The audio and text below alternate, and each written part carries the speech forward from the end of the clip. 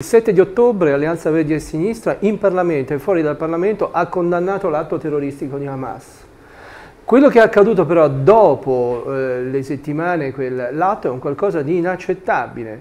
Eh, Netanyahu ha commesso dei crimini contro l'umanità, sono indizi genocidiali questi, perché nel momento in cui si impedisce al, ehm, ad arrivare aiuti umanitari dentro la striscia di Gaza. Noi abbiamo visto con i nostri occhi, sotto il tendone della Croce Rossa egiziana, a poche decine di chilometri dal valico di Rafah, abbiamo visto materassi, incubatrici, materiale chirurgico, eh, me medicine, medicine per l'anestesia che non potevano entrare perché per lo Stato di Israele quelli non garantivano la sicurezza dello Stato di Israele.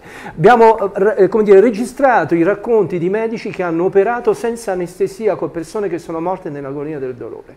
Eh, potremmo raccontare con eh, racconti e storie drammatiche dal punto di vista eh, umano. Ecco, ci troviamo di fronte a una situazione che con nettezza per noi sono crimini contro l'umanità eh, e rispetto a crimini contro l'umanità sanzionare chi li ha commessi è un atto dovuto come è stato, come è accaduto in altre situazioni.